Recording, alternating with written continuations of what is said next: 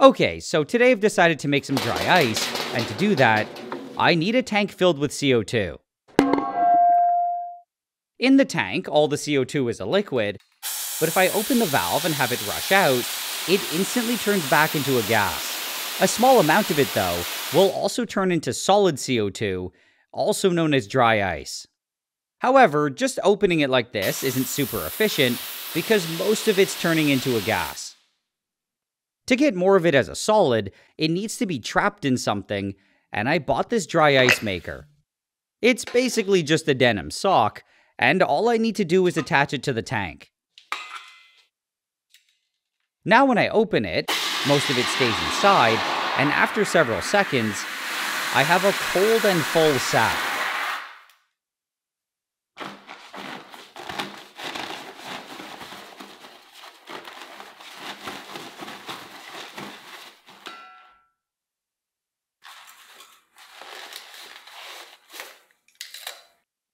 It's a big solid chunk though, and to get it out, I just need to carefully break it apart.